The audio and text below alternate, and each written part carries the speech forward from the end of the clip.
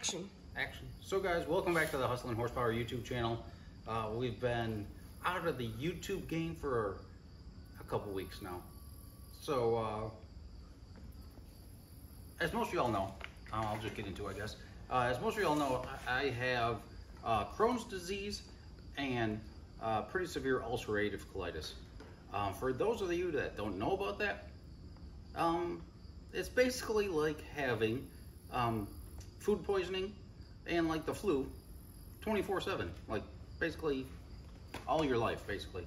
Um, and i've been dealing with that disease for about 10 years now. Of course there's days that are better than others and uh, in some screwed up fashion you kind of just learn to deal with it.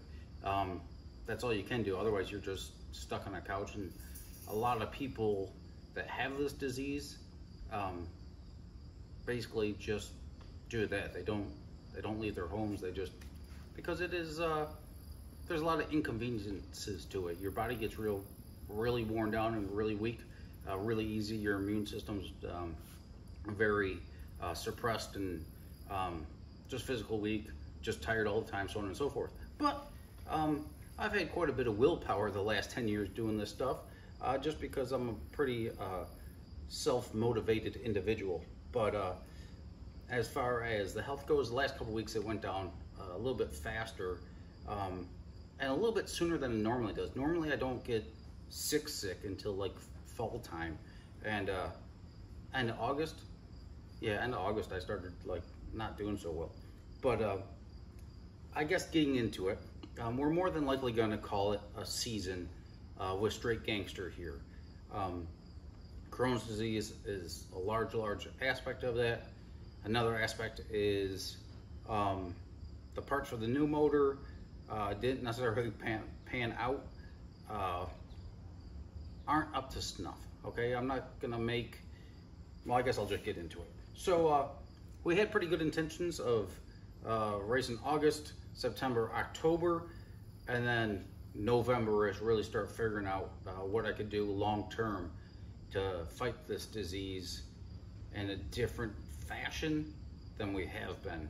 Whether it's the different medications I've been on or this or that, or if I have to go and do some more, um, just go for the surgery this time, which is uh, pretty, pretty likely. Um, we got a couple meetings coming up in the next uh, week or two uh, with a couple different doctors and stuff like that to see if we're gonna go the route of surgery. If that's the case, I'm gonna be out of the game for probably at least a three month recovery time. So um, we're gonna put the prison bus up for sale. Um, spare parts are gonna be up for sale. Uh, merchandise is gonna be discounted. We just went and brought the prison bus uh, back up here to, brought back the prison bus up here to New York so we have all the merchandise on hand. Uh, hats, hoodies, t-shirts, posters, um, tumblers, um, all the rest of that stuff. Anything else you could think of? No, that's all we have. And then, um, so we all have all that on hand for pretty quick uh, shipping and turnaround times. Um, what else? Well, We're gonna have some parts listed for sale, um, just to help, uh, because with the merchandise, we ordered a whole lot of merchandise early August. We received that merchandise. End of July, early August, we received that merchandise for um, a couple of the big races that we were planning on racing in September, September and October, August, September, October, we had a couple really big races uh, lined up that, you know, we probably would have sold quite a bit of merchandise in. So we're going to do a discount on hustlinhorsepower.com for the merchandise to help liquidate some of that stuff to get us through uh, this quote unquote downtime. Um, also, for this downtime, I'm going to need a little bit of information on what we could do for YouTube videos. Um, while we're don't have a car in the game, I guess you could say. So uh, we were trying to get the new motor together up until about two weeks ago. Probably about two weeks ago. I guess tomorrow's Friday, so yeah. Yeah, about two weeks ago. So um, this is the billet crank that I bought for that motor, and uh, you can see. So uh, we'll turn this on. Zero. Do do do. Do do do do do do do. I should have had this preset. So this is the problem that we ran into. This is the problem that we ran into. One of them. All right, so 2.200 is standard big block Chevy uh, rod journal. Uh, mains are, of course, all the ones in line. Rod journals are the ones that are offset. Okay? You hear that? Hang on. Yeah. Okay, it's got a small block, which means it's got a small block rod journaling. Um, that is not a bad thing. They didn't. I've had a lot of people saying this and that, blah blah blah blah. Guys, they didn't adjust the stroke by doing all the rod by moving uh, small and making the rod journal smaller. They didn't do an offset offset grind or anything like that on it. It's just a small block Chevy rod journal. They do that for high RPM applications, probably for the bob weight and stuff like that. Um, so we had the crankshaft that I, I pulled the crankshaft out of the motor. We haven't, we filmed it all. I haven't made the video yet.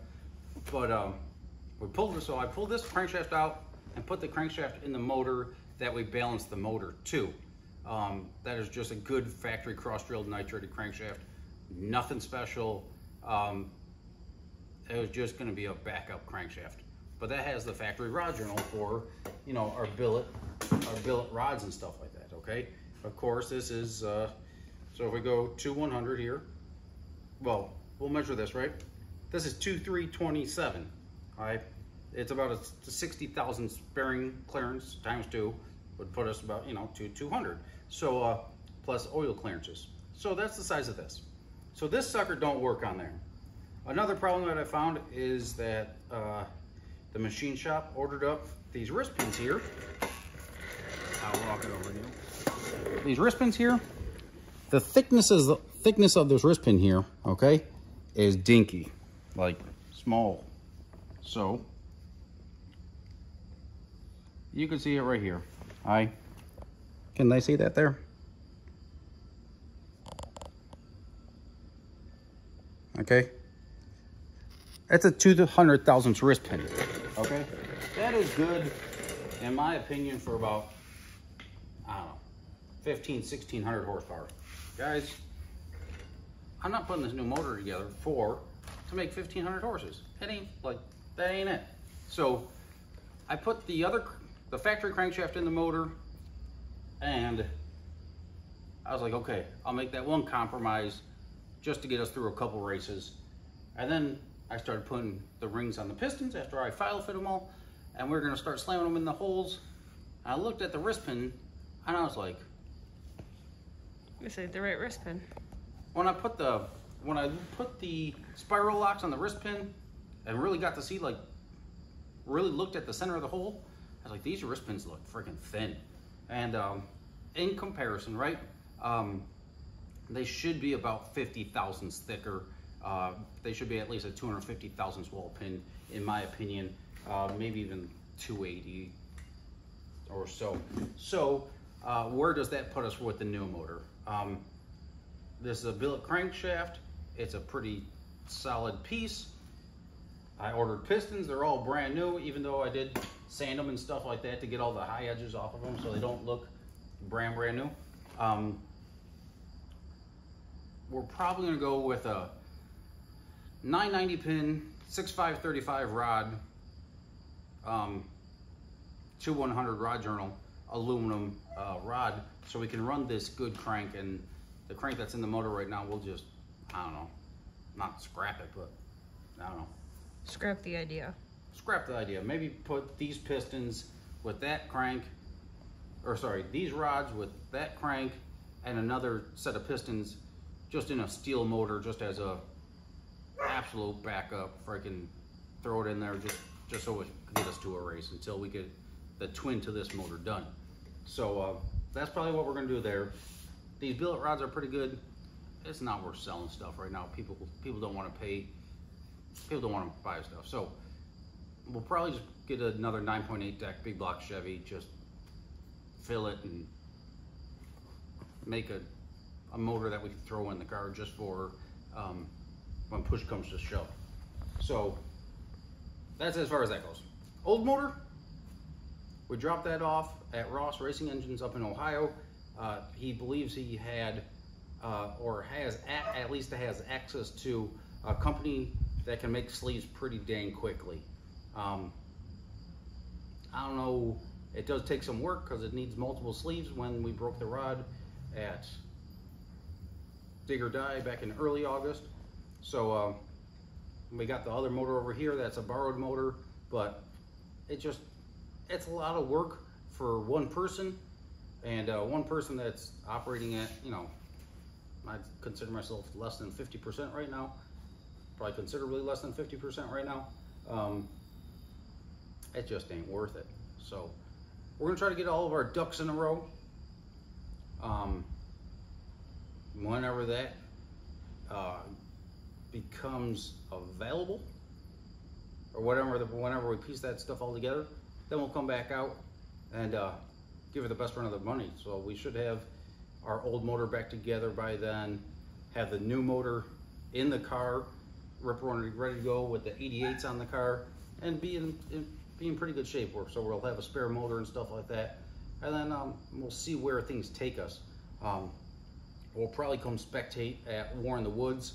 Um, if they pull off a couple miracles, maybe I'll feel up to the task sometime the next week and a half or so to reassemble the old motor and throw it in the car.